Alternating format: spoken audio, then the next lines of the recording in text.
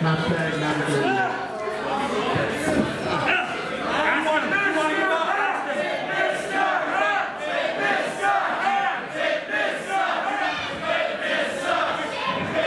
asking him if he wants to give up. I want to hear him surrender.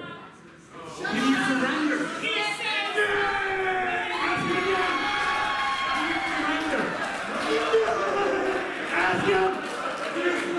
Ask him!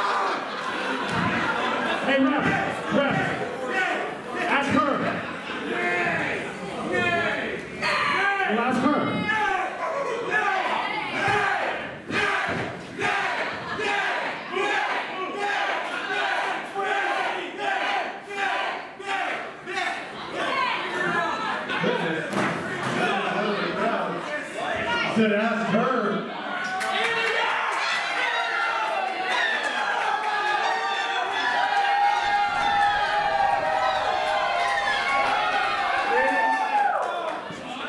Stand over there.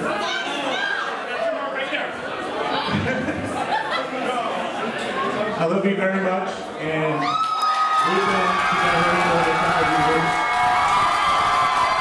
And I can't think of a better place to do this than in front of our 321 family, family,